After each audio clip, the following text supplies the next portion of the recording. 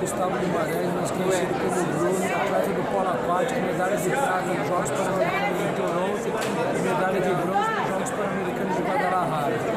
Eu comecei no esporte devido à minha família. Meu avô fez sete edições de Jogos Olímpicos pelo polo aquático, natação e judô.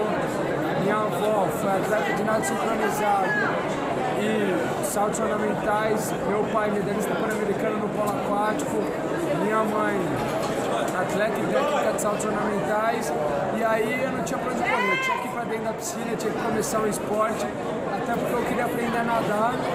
E sempre foi uma coisa que meus pais acreditaram que é, seria muito importante para mim. Então eu não tive pra onde correr.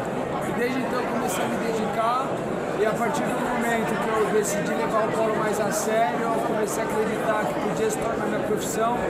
Eu me dedico integralmente ao polo aquático desde os 14 ou 15 anos eu tenho essa ajuda do Bolsa Atleta, o que para mim é fundamental, o que faz com que eu possa, aliar das outras ajudas do meu clube, que é o César de São Paulo, da Confederação Brasileira de Esportes Aquáticos e outras ajudas, me dedicar só ao polo aquático e pensar no meu objetivo, que é conquistar o meu espaço nos Jogos Olímpicos de 2016 e representar da melhor maneira possível o time Brasil.